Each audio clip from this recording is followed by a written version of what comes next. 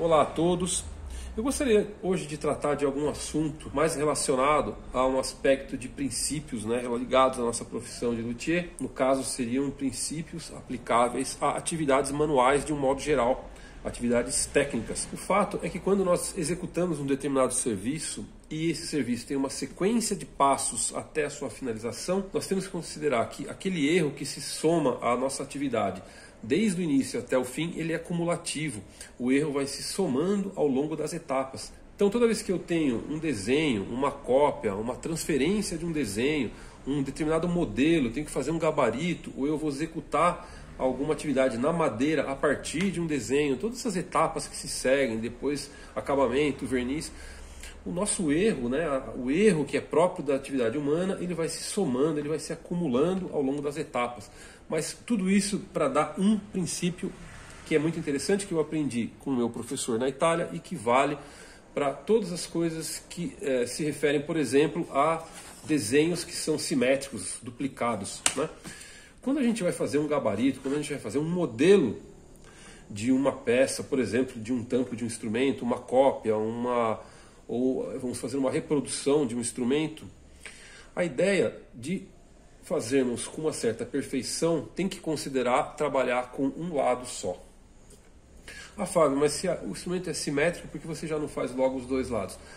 Porque quando nós fazemos os dois lados, por exemplo, eu fiz aqui um modelo de um instrumento, no caso aqui é um Romédio Mincher, que eu copiei de um instrumento de 1924, então eu tirei diretamente o desenho. Então, eu parti de um desenho, parti de uma foto, e da foto para cá eu já tenho um erro, né? porque a transferência de um desenho já tem um erro. E certamente o instrumento já tinha um certo erro de simetria quando ele foi construído, então eu reproduzi esse erro de simetria. E eu tenho certeza de que os bicos vão ser idênticos, que as medidas aqui, por mais que eu queira, fazendo tudo isso manualmente, elas não vão ser idênticas. E quando eu jogar esse desenho aqui que foi tirado de um tampo para o fundo, eu vou inverter o erro que está do lado esquerdo, vai passar para o lado direito. Então, todos esses erros que vão se somando, no final eu tenho uma sequência de erros somada e acumulada que pode aparecer no trabalho é, finalizado. Né? Por isso que convém, a partir de um instrumento, que você tem em mãos o instrumento que você queira copiar, ou se você tem um desenho, e você não vai fazer uma réplica ipsis literis, você não vai fazer uma réplica absolutamente idêntica àquela, partir apenas de um dos lados. Né?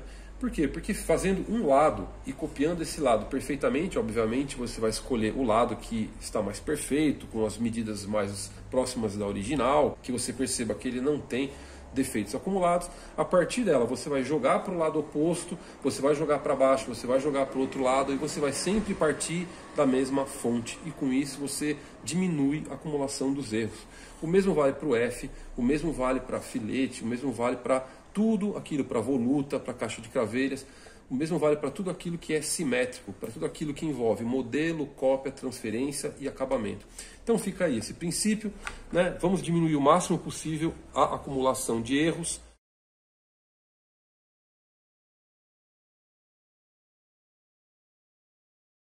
Então essa ideia de fazer um lado só e a partir dele fazer todos os outros é muito melhor do que querer reproduzir já o desenho finalizado. Então é esse o princípio que eu quero ensinar para vocês que pretendem um dia ser luthiers e para vocês que têm curiosidade na profissão. Um abraço a todos até o próximo vídeo.